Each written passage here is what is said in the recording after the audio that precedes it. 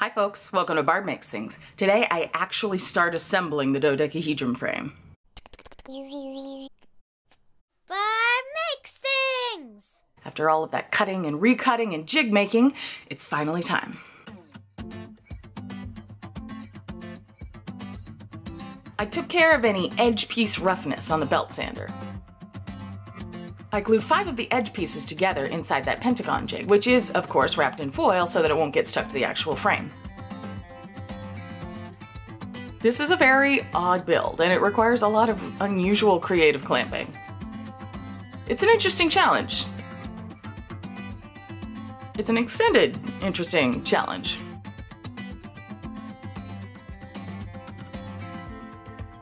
One of the challenges of this build is the small, unusually shaped pieces that I made from those solid dodecahedrons.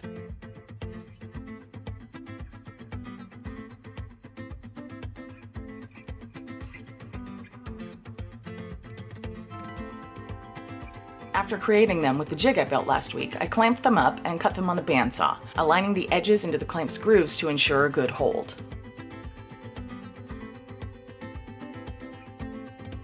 After this, I sanded the rougher portions of them on the belt sander.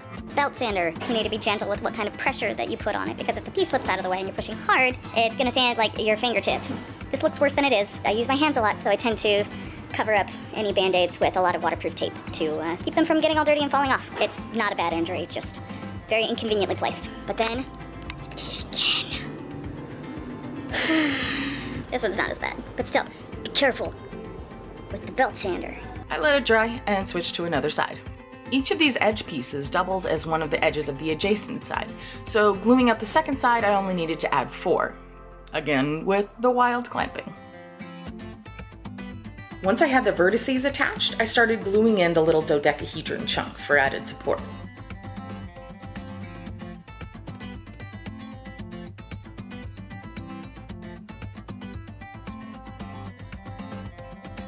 This is very much a clamp and wait situation.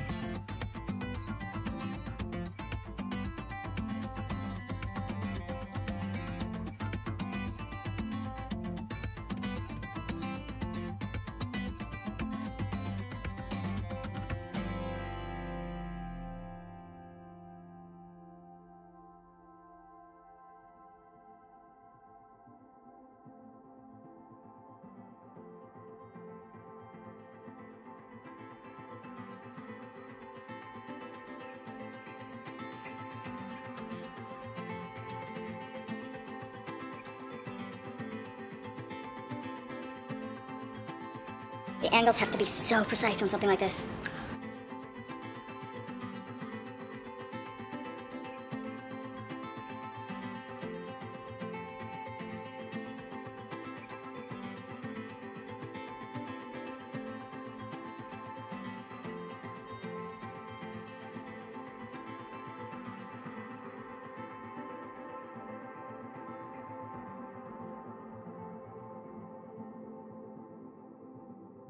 I got just over half of it put together this week. I plan to assemble the other parts separately and make them detachable for ease of installation and transport. After that, I'll be making more percussion elements and mounting them to the frame. What did you knock over?